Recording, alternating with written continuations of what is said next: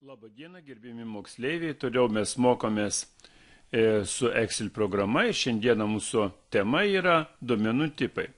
Tai 19 e, pamoka, 19 pamokoje mes rasime duomenų tipai ir praktinis darbas mūsų yra duomenų tipai.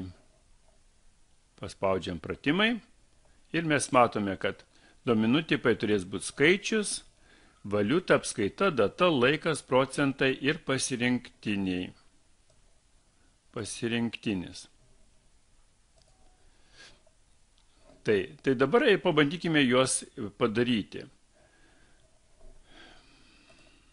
Na va, tai mes matome skaičiai, valiuta, tolime, mes ir toliau tęskime tuos darbus, kaip mes ten, reiškia, vienam dokumente darome, tai skaičius valiuta, apskaita, data, laikas, procentai ir e, pasirinktinis. Tai dabar nuskaičiaus, ką čia reikėjo padaryti. Reikėjo jūsų vardą pavardę užsirašyti ir parašyti, ir suskaičiuoti, kiek raidžių yra, pas mane 14 išėjo, ir su ta 14 reikia formuotuoti skaičius. Kaip tos skaičius formuotuoti?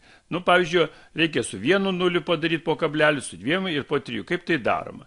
Dabar pademonstruosiu. Paėmėm, sakykime, 14, aš jį pasižymėjau, su dešinė pilytė paspaudžiu, formuotuoti langelius susirandu ir randu skaičius, skaičius ir priskiriu po kablelio, kiek po kablelio turi būti skaičių pas mane. Nu, sakykime, dabar šešis pridėsiu, ne? Va. Ir žiūrėkit, po kablelio šeši nuliai atsirado. Taigi, e, tokius va, reikia padaryti, kad jūs žinotumėt, kaip formatuoti skaičius. Toliau, Valiuta. Valiuta ir apskaitai yra labai panašiai, tai yra piniginiai vienetai, tai vėlgi savo vardą pavardę, tą patį skaičių užrašote ir su to skaičiu padarote įvairias valiutas. Tai yra ES valiuta, tai euro, e, Anglijos, e, svaro, e, dolerių ir dar galite kai kuriais kitais padaryti. Kaip tai daroma? Na, va, pavyzdžiui, parašysiu pinigėlį ir, jau sakykime, nuo eurą padarysiu. Tai paspaudži dešinį pilės klavišų, vėl tas pats formatuoti langelius, įsirenki valiutą, valiutą ir po kablelio pasirinkdamas skaičių kažkiek tai, e, siūlyčiau ne vieno po kablelio likti, įsirenkam kokią norim valiutą, kokios norim šalies. Ne? Tai sakykime, mes pasirinksime Euro, Europos Sąjungos eurą ir mes turime eurą. Va. Nu, taip galima ir lyrą susirasti ir taip toliau. Tai apskaita tas pats. Dabar data.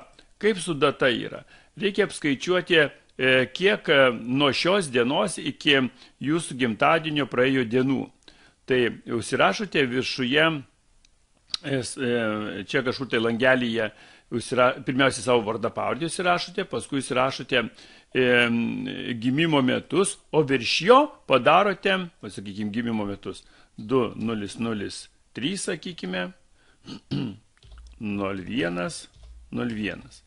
Na ir e, toliau būtų e, šios dienos data, tai jūs galite irgi tai prašyti šios dienos, bet galime ir per funkciją padaryti to atitinkamą, tai jau bus labai, labai e, žinomi. Tai užrašai žodį today, today, today, abu du lankelius pasidarote, lankelius, lankeliai ir spaudžiate enter. Ir iš karto datą gamina. Va, matot data. O dabar labai lengva, paimam lygų ir padarome Iš vienos datos atimam kitą datą. Iš vienos datą minus kitą datą. Ir enter. Ir štai va matom, kiek praėjo dienų, ne? E, ką reikėjo su laiku padaryti? Reikėjo laiko užrašyti, e, sakykime, e, pietų laikas, kada jūs valgot pietus, ne? 14 val. sakykime. Ir jį formatuoti pagal e, laiką. Tai formatuoti, susirandame formatuoti langelius Ir kur formatuoti langelius išeina, tai pasiem laikas ir nusistatom, kad laikas. Pagal čia šablonai yra valandų, ne? Nusistatom laikas, aišku, pagal lietuvį, pagal kito šalį galim padaryti, pagal lietuvį. Na ir va, dabar nukopijuojam kelis kartus ir padarom kitų šalių laikus sudėdam. Tai va, pavyzdžiui, vėl paspausime. E, aš truputį pakelsiu tą Excelį, kad jūs matytumėte, kas įsiskleidžia. Tai pasispaudžiame ir formatuoti langelius, va, su šito įrankiu, formatuoti langelius ir mes susirandame e, kitos šalies laiką, sakykime, nu, le, Lenkų, va, Lenkų ir va čia paimkim kokį, va, nu, Ir matot, koks pasidarė. Tai čia su laiku. Procentai. Dabar jums tai reikės kažkokį procentą surasti iš klasės, iš kažkokio, kas kažką tai daro. Tai kaip čia tai daroma? Sakykime, e, trys vaikai iš klasės lanko e, muziką, ne? Ir reikia surasti procentą. Koks procentas yra iš klasės? Klasėje yra 28 mokiniai. Tai dabar e, kokia formulė yra? Čia jau dabar surasim šitam langelėje, nudažysim tą langelį, šitam langelį surasime, koks procentas yra. Tai rašome tokią formulę. Lygu šitą skaičių dauginam iš šimto, bet ne skaičių darome, o būtinai koordinatę uždedam, būtinai koordinatę.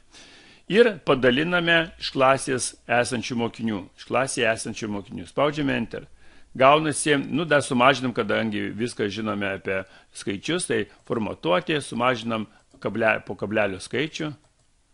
Nulis va, apvalino mums truputėlį ir matom, kad 11 procentų. Kaip pasitikrinti, ar tikrai taip yra? Tai galim uždėti 100 mokinių ir matysis, kad 3. O matom 3.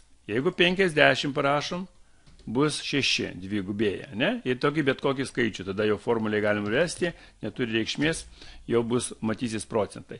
Taigi, matome, iki 100 skaičių galima rašyti, tada matysis nuo procentas, koks yra. Taip, su procentais. Pasirinktinis. Pasirinktinis čia yra bet koks skaičius, bendras. Bendras. Čia yra, e, sakykime, data. Data. Čia yra data su laiku. Data su laiku. O čia tik laikas. Laikas. Nu ir pasižiūrėkime, kaip čia būtų. Jeigu mes rašytume skaičių šios dienos 2, 2.1. E, toliau šiandien yra e, trečia ir brūkšnys 01. Na, mes va, turim tokią skaičių, ne? Ir dabar pratraukim tą skaičių. Ir dabar pabandykime, e, reiškia, kaip datą, e, čia kaip skaičių traktuojame. Tai formatuojame ir bendras skaičius. Čia bendras skaičius. Iš karto pasikeitė, matot? Dabar čia yra data. Čia yra data, tai data mes priskiriam kaip data. Turi būti data. Ir data yra. Galime ir kitokį formatą pasimti. Data čia mūsų. Toliau data su laiku. Kaip data su laiku padaryti, tai formatuojame, pasiemame e, pasirinkti, specialusis galim pasirinkti, bet ar pasirinktinis geriausiai ir ieškom datą su laiku. Mes matome datą ir laikas ir nurodom data su laiku, ne? Ir tik laikas padarome. Formatuoti laikas, laikas, nurodom laiką, galim kitokį laiką paimti ir padarom laikas, va, mūsų laikas. Tai va, tai e, pasirinktinis, reiškia, mes pasirinkome, reiškia, e, mokam jo visus formatavimo įrankius ir žinome, ką gali padaryti bendras, ką galima data, laikas, kartais pagrėbė e, skaičių labai labai gerai bendras, vas, pavyzdžiui, skaičius paimtas kaip data, sakykime. O mums reikia bendrą padaryti, kad jis nebūtų data, o bendras. Va. Dabar pažiūrėkim, kas čia išėjo, ar dataras, ar, ar, ar, ar ką jisai pripažino. Bendrą padarė. Va. O jeigu dadėsime minusus, tai tikrai paims kaip datą. Kaip datą. Iš karto pagrėps kaip datą. formatuot. Matot, iš karto pagrebė e, kaip datą. Taigi e, Excelis e, kartais pats už mumis sugalvoja viską, padaro viską, todėl reikia žinot, kaip jeigu jų pataisyti reikėtų. Tai bendras data, data su laiku ir laikas. Tai ačiū, kad žiūrėjote. Iki kitų kartų neužmirškite padaryti 19 pamoką.